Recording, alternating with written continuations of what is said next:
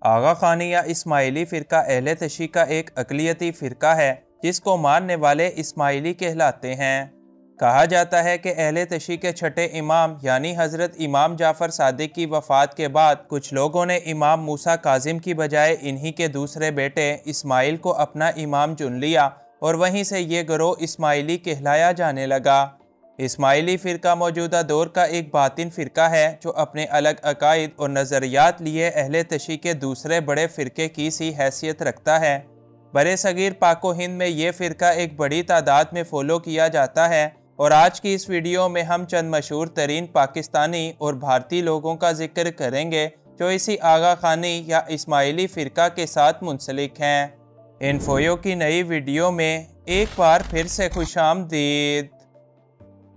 Number ایک، قائد اعظم محمد علی جناح پانی پاکستان قائد اعظم محمد علی جناح کا تعلق اہل تشیع کے اسماعیلی فرقہ کے ساتھ منسلک تھا۔ تاہم، بہت سے لوگ یہ دعویٰ کرتے ہیں کہ قائد اعظم بعد میں سنی ہو گئے تھے۔ لیکن یہ بات تو کنفرم ہے کہ قائد اعظم کا سارا خاندان اسماعیلی شیعہ تھا۔ پانی پاکستان کے ٹاپک پر جتنی بھی کتابوں کا مطالعہ کیا جائے، سب کے اندر یہی درج ہے کہ محمد علی جناح ابتدا میں اسماعیلیہ فرقے کے پیروکار تھے، مگر بعد میں ان کا مسلک اسنائے اشریہ یعنی فقہ جعفریہ کے اندر تبدیل ہو گیا تھا۔ تاہم، انہوں نے پبلک میں اس بات کا اعلان کبھی بھی نہیں کیا کہ وہ سنی ہیں یا پھر شیعہ۔ نمبر دو، فاطمہ جناح کم لوگ ہی یہ جانتے ہیں کہ مادر ملت فاطمہ جناح کا تعلق بھی اسماعیلی شیعہ فرقہ کے ساتھ تھا۔ فاطمہ جناح کی ہی کوششوں سے برے صغیر کی خواتین بھی آزادی کی تحریک میں شامل ہوئیں۔ مادر ملت پیشے کے لحاظ سے ایک ڈینٹسٹ تھیں اور ممبئی شہر کے اندر ان کا اپنا ایک کلینک بھی تھا۔ تاہم، انہوں نے اپنے کام کے ساتھ ساتھ اپنے بھائی یعنی محمد علی جناح کا بھی بھرپور ساتھ دیا۔ نمبر تین، حبیب اسماعیل۔ آپ سب حبیب بینک سے تو ضرور واقف ہوں گے۔ کیا آپ جانتے ہیں کہ حبیب بینک کے مالک حبیب اسماعیل نے صرف تیرہ سال کی عمر میں کاروبار کرنا شروع کیا تھا؟ سال انیس سو بائیس میں حبیب اسماعیل نے اپنے چار بیٹوں کے ساتھ مل کر حبیب بینک کی بنیاد رکھی اور سال انیس سو اکتالیس میں انہوں نے ممبئی شہر میں پہلا حبیب بینک قائم کر دیا۔ قیام پاکستان کے بعد یہ سارا خاندان جو کہ اسماعیلی شیعہ ہیں، ہجرت کر کے ممبئی سے کراچی آ گئے اور اب پاکستان میں حبیب بینک بنایا۔ آج حبیب بینک کی دنیا کے پانچ ملکوں میں چھ سو سے زیادہ برانچز کام کرتی ہیں اور اس کے علاوہ انہوں نے تعمیرات آٹو موبائل ٹیکنالوجی اور حبیب یونیورسٹی کے اندر بھی کروڑوں روپے کی سرمایہ کاری کر رکھی ہے۔ نمبر چار، پرنس کریم آغا خان۔ اسماعیلیوں کے انچاسویں امام پرنس کریم آغا خان نہ صرف پاکستان بلکہ پوری دنیا کی اسماعیلی کمیونٹی کے روحانی پیشوا ہیں۔ کراچی میں واقع آغا خان ہاسپٹل اور آغا خان یونیورسٹی کے سربراہ یہی پرنس کریم آغا خانی ہیں اور انہی کے والد کی دعوت پر قائد اعظم نے کانگریس کو چھوڑ کر آل انڈیا مسلم لیگ کو جوائن کیا تھا۔ نمبر پانچ، سمینہ بیگ۔ گلگت بلتستان سے تعلق رکھنے والی سمینہ بیگ پاکستان کی ایک بڑی مشہور کوہ پیما ہیں۔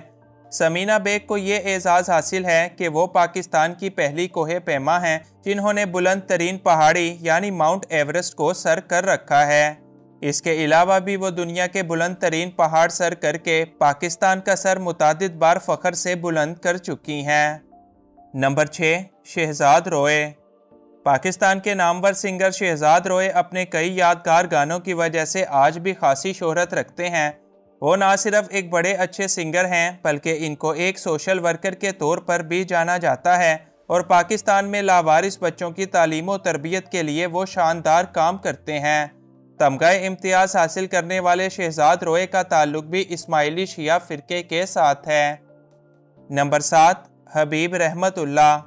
حبیب رحمت اللہ قائد اعظم محمد علی جناح کے ساتھی اور تحریک پاکستان کے ایک بڑے سرگرم رہنما تھے۔ ان کو ایک کامیاب ترین سیاستدان اور بڑی اچھی کاروباری شخصیت کے طور پر بھی جانا جاتا ہے۔ حبیب رحمت اللہ کو انگلینڈ کے اندر پاکستانی سفیر اور صوبہ پنجاب اور سندھ کا گورنر بھی بنایا گیا اور اس کے علاوہ بھی انہوں نے پاکستان کے لیے اپنی زندگی کے اندر کئی بڑے بڑے عہدوں پر خدمات پیش کیں۔ نمبر آٹھ، عائشہ عمر۔ لاہور سے تعلق رکھنے والی عائشہ عمر نے اپنی تعلیم کے دوران ہی اداکاری شروع کر دی تھی۔ انہوں نے سال انیس سو ننانوے میں اپنے کریئر کا آغاز کیا اور آج انڈسٹری کی ایک بڑی اداکارہ کے طور پر جانی جاتی ہیں۔ ان کا حالیہ ڈرامہ بلبلے ان کی شہرت کی سب سے بڑی وجہ ہے اور اس کے علاوہ بھی وہ اکثر بڑے بڑے ڈراموں کے اندر نظر آتی رہتی ہیں۔ یاد رہے کہ عائشہ عمر کا تعلق بھی اسماعیلی شیعہ فرقے کے ساتھ منسلک ہے۔ نمبر نو، صدر الدین ہاشوانی۔ پاکستان کے عرب پتی بزنس ٹائکون صدر الدین ہاشوانی کسی بھی شہرت کے محتاج نہیں۔ انہوں نے ملکی اور غیر ملکی لادادات شعبوں کے اندر اربوں روپے کی سرمایہ کاری کی ہوئی ہے۔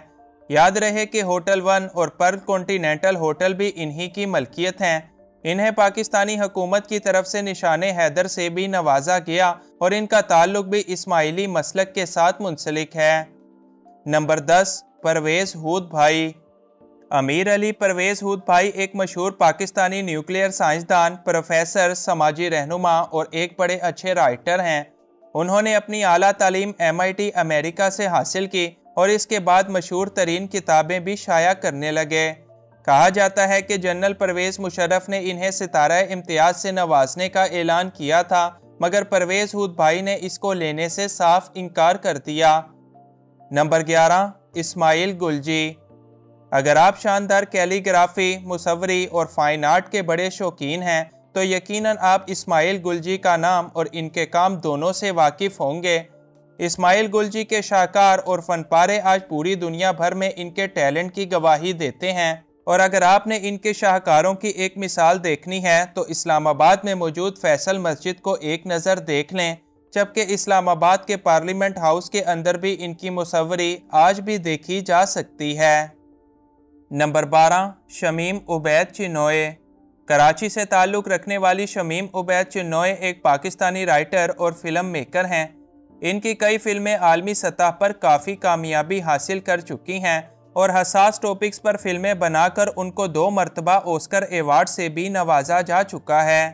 ان کو پاکستان کی طرف سے بھی ستارہ امتیاز سے نوازا گیا اور وہ بھی اسماعیلی شیعہ فرقے کے ساتھ تعلق رکھتی ہیں۔ نمبر تیرہ سارا حیدر۔